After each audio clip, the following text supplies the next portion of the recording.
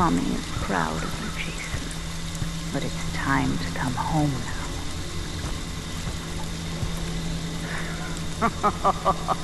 now.